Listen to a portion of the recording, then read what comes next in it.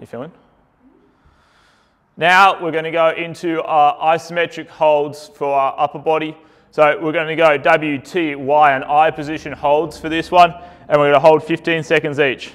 Luna might do it with us, who knows. So lying down, you're going to hold your W position, so we're setting the shoulders, lift up and hold.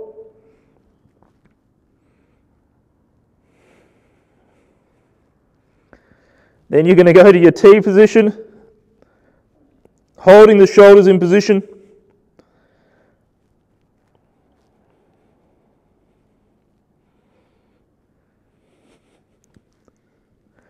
Then you're going to go into the Y.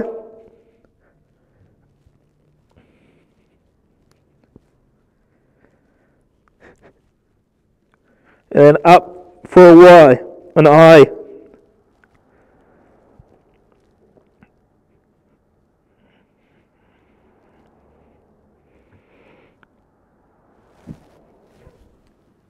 And then you might have a baby Luna on your back.